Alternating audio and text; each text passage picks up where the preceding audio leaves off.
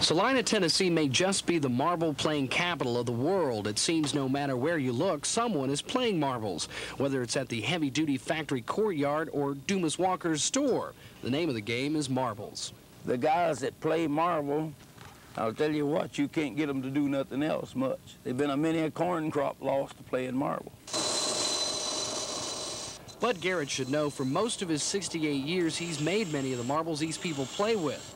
They're made of flint, a stone tough enough to survive the rigors of the most popular marbles game played here. It's called Rolley Hole. It's something that's been here for years. There's all of my life, and my granddaddy, he's about, he died three or four years ago. He, he used to play when he was a kid. This is the way the game goes.